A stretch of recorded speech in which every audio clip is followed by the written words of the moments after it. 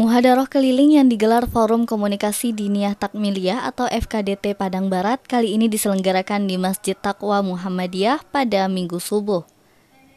Kegiatan tersebut merupakan agenda rutin FKDT Padang Barat yang dilaksanakan setiap bulan dan diikuti puluhan santriwan serta santriwati MDTA sekecamatan Padang Barat.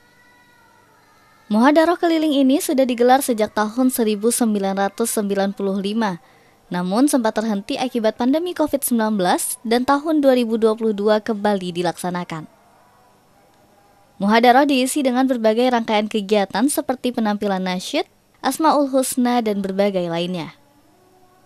Ketua FKDT Kecamatan Padang Barat mengatakan muhadaroh keliling merupakan ajang silaturahmi serta wahana melatih mental bagi santri MDTA Diharapkan kegiatan tersebut dapat menumbuhkan rasa cinta santri terhadap Al-Quran dan juga dapat memakmurkan masjid. Merupakan kegiatan sebagai ajang silaturahmi bagi kita di jajaran FKDT Padang Barat bagi santri maupun guru-gurunya sehingga setiap uh, guru yang ada di MDTA Padang Barat jadi satu sama lain bisa mengenal dengan kegiatan muhadarah keliling ini. Dan juga bagi anak-anak kita yang ikut tampil dalam kegiatan muhadarah keliling bisa sebagai ajang untuk melatih mental mereka untuk tampil di depan orang ramai.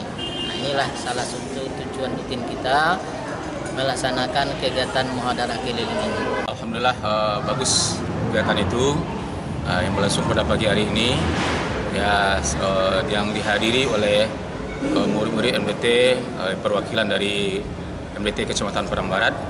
Uh, walaupun tadi uh, subuh tadi hujan cuaca hujan turun tapi alhamdulillah uh, guru-gurunya kepala dan juga murid-muridnya uh, juga datang. Karena ini memang adalah kegiatan rutin dan juga sudah apa bagi dirinya uh, artinya menjadi darah daging lah gitu kan uh, karena acara yang dilaksanakan walaupun ada hujan tetap juga dia datang Sementara itu, muhadarah keliling disambut baik oleh para orang tua santri. Para orang tua menyebut muhadarah memberi manfaat besar terutama dalam mengasah kemampuan anak-anak mereka. Bagus, Pak.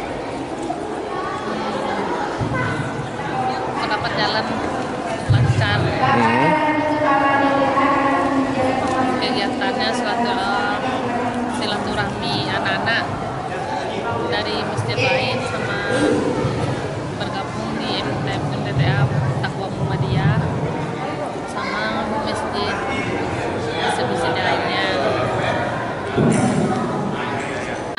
wali murid bisa mengantarkan anak-anaknya untuk muhadarah tiap hari minggunya masjid yang telah disediakan.